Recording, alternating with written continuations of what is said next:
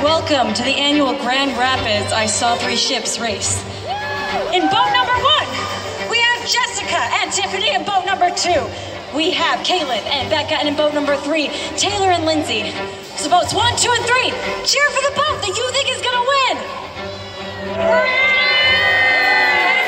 Three, two, one.